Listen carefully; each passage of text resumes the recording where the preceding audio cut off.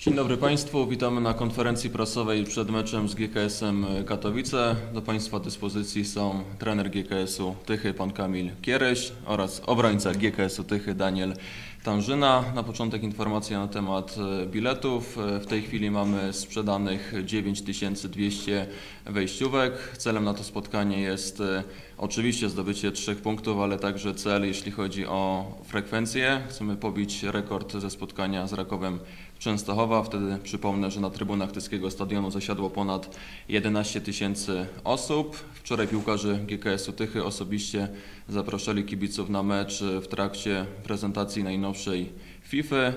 Jednym z zawodników był obecny tutaj Daniel Tanżyna. Wczoraj także oficjalna telewizja klubowa GKS Tychy TV wyprodukował spot pod tytułem Wszystkie drogi prowadzą na edukacji 7. Tyle jeśli chodzi o informacje organiz- organizacyjne. Teraz proszę o zabranie głosu przez trenera GKS-u Tychy, który opowie o przygotowaniach do tego spotkania. Dzień dobry. Y, No przed nami bardzo ważne spotkanie derbowe, prestiżowe. Ważne jest z pozycji boiska. Trzy punkty leżą y, na boisku. Mm, Te trzy punkty będą ważne z, z pozycji gry zarówno dla nas jako gospodarzy, jak i dla gości. Każdy ma swoje priorytety, każda drużyna ma powiedzmy swój ostatni okres. Generalnie GKS, Tych, GKS Tychy mm, jest na dwóch porażkach w ostatnich spotkaniach, ale też y, nie zawsze y, porażka jest powiedzmy czymś do końca tragicznym. Na pewno nie jest to pozytywne, ale mm, droga do sukcesu, do sukcesu też jak gdyby y, prowadzi przez wyciąganie wniosków z porażek. Początek tego tygodnia y, znamionował to, że od pierwszego treningu jak gdyby weszliśmy w rytmy przygotowań do tego spotkania. Mm, Oczywiście z pozycji pierwszego treningu nie miałem do dyspozycji wszystkich zawodników, bo kilku graczy było y, troszkę poturbowanych po ostatnim meczu y, w Olsztynie, ale od środy trenujemy już w pełnym zestawieniu do, do kadry Yy, przygotowującej się do tego prestiżowego spotkania wrócił yy, Stefan Chirski, Marcin Radzewicz i, i są to zawodnicy, którzy yy, będą brani pod uwagę przy ustalaniu osiemnastki. Yy, Staraliśmy się przede wszystkim yy, przeanalizować nie tylko mecz ze Stomilem, ale staraliśmy się przeanalizować yy, nasze ostatnie trzy spotkania po tym takim yy, dobrym, y, ważnym zwycięstwie z Wigrami Suwałki właśnie nastąpiła seria tych y, trzech spotkań, w których zdobyliśmy y, jeden punkt. Te dwa ostatnie mecze, chociaż były porażki, to były spotkania, w których przede wszystkim popełniliśmy dużo błędów w defensywie. Zabrakło nam takiej konsekwencji z początku sezonu, jeżeli chodzi o układ, zachowanie równowagi między grą ofensywną i defensywną. Nie potrafiliśmy właśnie zrównoważyć tego i przytrafiały nam się błędy, po których traciliśmy bramki, ale też trzeba zauważyć, że były to spotkania, w których y, jako drużyna byliśmy w grze. Mieliśmy y, większe na pewno posiadanie piłki, większe, większą ilość sytuacji y, bramkowych w tych przegranych spotkaniach, większe, większą ilość oddanych strzałów.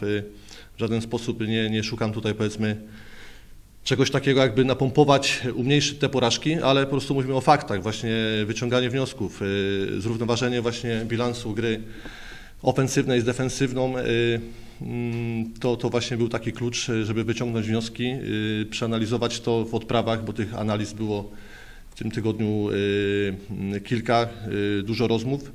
No i przekuwanie tego, tego w trening. Widać w zawodnikach dużą mobilizację chęć y, naprawienia powiedzmy tego, co się w ostatnim y, czasie y, wydarzyło. Mm, Dyscyplina, dyscyplina, większa, większa konsekwencja, większa odpowiedzialność, to jest nam potrzebne w grze, bo początek sezonu w większym stopniu to, to właśnie potwierdzał. Troszkę w ostatnim czasie zbyt optymistycznie, zbyt radośnie spojrzeliśmy w przyszłość i, i, i właśnie mówię, ta, ta, ta stabilizacja, ta większa odpowiedzialność w grze większa konsekwencja to, to musi występować w jakichś elementach y, taktycznych. Zacząłem od nas. Y, GKS Katowice na pewno jest drużyną, która, która jest w bardzo dobrym momencie, która punktuje, która wygrywa.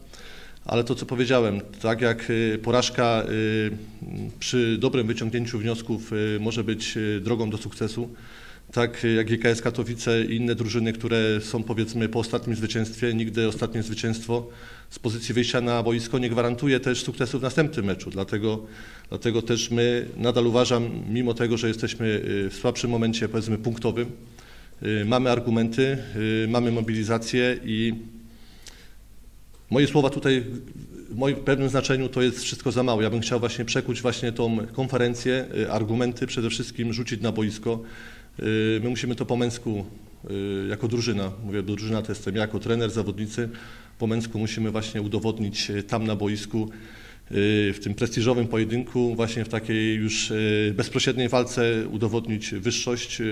Uważam, że jeżeli wróci powiedzmy aspekt takiej stabilnej, konsekwentnej gry, to mamy argumenty do tego, żeby się faworytowi, bo GKS Katowice jest na pewno faworytem tego spotkania, przeciwstawić.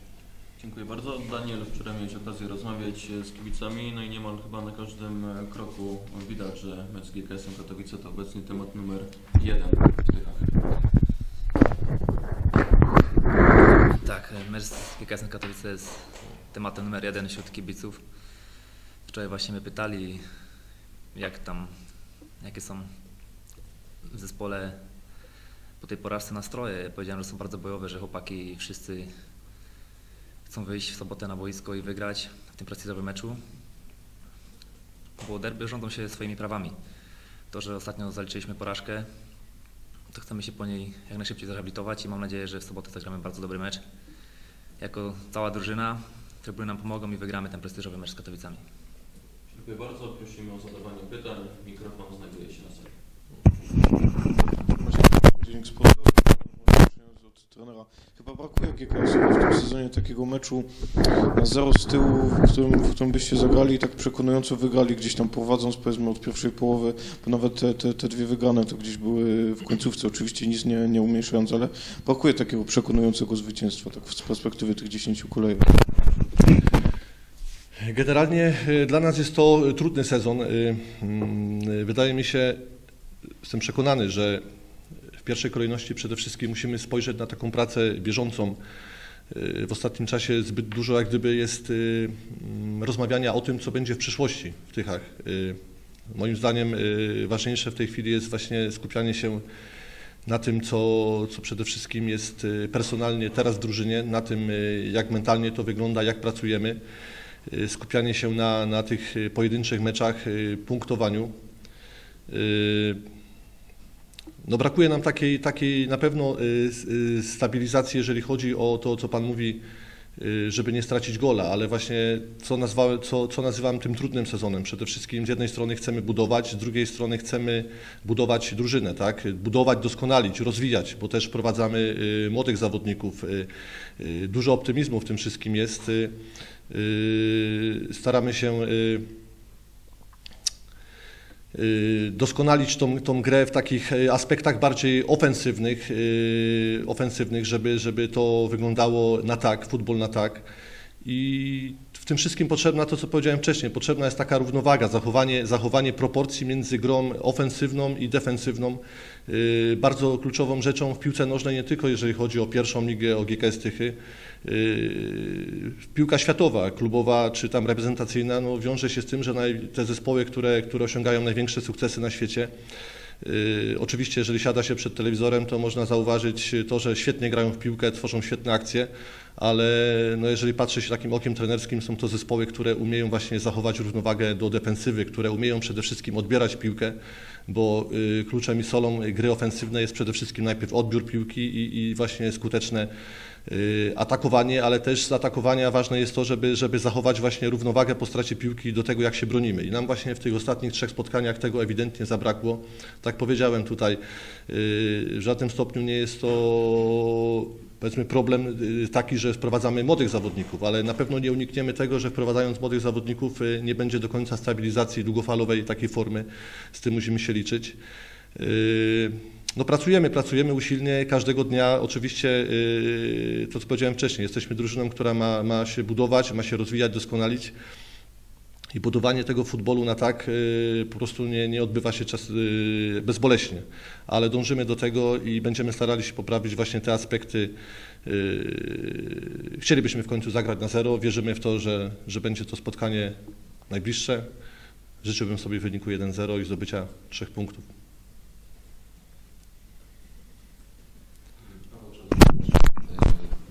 Czy jest coś, panie trenerze, mm, co podoba się panu w grze najbliższego rywala? Przede wszystkim drużyna, która ma, ma, ma dobry moment. Y, Aż tak y, bardzo nie obserwowałem tej drużyny pod kątem y, i gry w pierwszych spotkaniach, bo też nie jestem w stanie, jak to się mówi, skupiać uwagi na całej lidze. Mm, Mogę, mogę ocenić drużynę GKS-u Katowice z ostatnich czterech spotkań. Mm, No, drużyna, która, która jest, wydaje mi się, że jest konsekwentna, przede wszystkim y, drużyna, która y, bazuje na dobrym odbiorze piłki na, w ten sposób stara się wykorzystać tych y, zawodników y, w przednich liniach, szybkość na skrzydłach, ale, ale też przede wszystkim dużą pewność te, tej drużynie daje Goncerz, który, który, który raz, że strzela bramki, ale też ma bardzo dobre kontakty z piłką i napędza też kluczowymi podaniami drużynę. To jest na pewno ważna rzecz i ta drużyna też tak całość stara się realizować taką y, konsekwentną taktykę defensywną w tych fazach, kiedy tej piłki nie ma. Oczywiście, jak się ogląda, jest to drużyna, która też popełnia błędy, bo y, tak trzeba na to, na to spojrzeć, ale generalnie przebija w tych ostatnich czterech meczach przez tę drużynę więcej aspektów y, pozytywnych.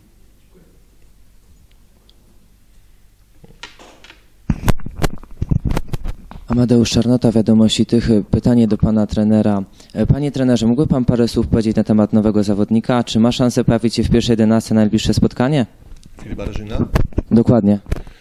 Pan co, w tej chwili y, ja już praktycznie koncepcję składu na to spotkanie mam. Mam koncepcję tego, jak mogłyby wyglądać zmiany w zależności od układu gry na boisku, od wydarzeń na boisku. Nie zdradzę w tej chwili personalnie, jak wyjdziemy, y, bo, bo to też jest y, element taktyki przed meczem. Y, Nie mogę ułatwiać zadania przeciwnikom. Dzisiaj zawodnicy po treningu, tym dzisiejszym rozruchu taktycznym dowiedzą się, jak wygląda osiemnastka. Jest to zawodnik, który z dnia na dzień prezentuje coraz wyższą formę, coraz, coraz powiedzmy lepszą komunikację, która, która moim zdaniem jest y, bardzo istotna, jeżeli chodzi o poruszanie się tego zawodnika. Mm, No liczy, liczymy, liczymy na Filipa. Związane z GKS-em Katowice. Coś Ci się nasuwa z przeszłości? Tak, to właśnie mecz z Polonią Bytom i szyty łuk brwiowy. No Teraz zostało mi znamie, taka mała blizna. To pokazuje, że w tych meczach właśnie derbowych jest dużo walki. W sobotę też na pewno będzie dużo walki, zaangażowania. Obydwa zespoły będą chciały wygrać w tym prestiżowym meczu.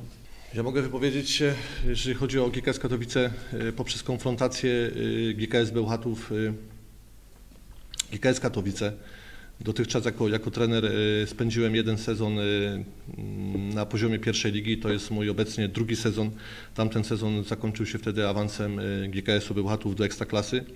I choćby zapamiętałem takie spotkanie w Bełchatowie, gdzie, gdzie przyjechały GKS Katowice w roli gości i to było mecz na, na szczycie drużyn, które bezpośrednio walczą o awans i pamiętam, że Bełchatów wygrał zdecydowanie to spotkanie 5-0 po bardzo dobrej grze, skutecznej grze, gdzie też pamiętam yy, dwa wcześniejsze mecze, yy, tam się pojawiły punkty, ale to były dużo słabsze mecze.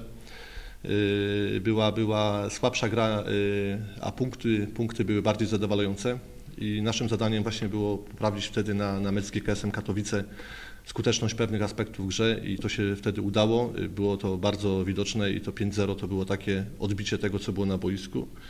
W Katowicach rozegrałem jedno spotkanie wyjazdowe, 2-2, remis na wiosnę. Pamiętam, że w pierwszej połowie graliśmy bardzo dobrze, w drugiej połowie przewaga GKS-u Katowice po kontuzji naszego kluczowego gracza. Mecze, mecze były emocjonujące, szybkie. Nawet z pozycji tego meczu wygranego 5-0 Katowice nie były też tylko takim zespołem, który, który powiedzmy yy, jak gdyby nie istniał na boisku, bo miał też swoje dobre momenty, ale my wtedy argumenty mieliśmy dużo, dużo lepsze i, i te karty były w naszym ręku.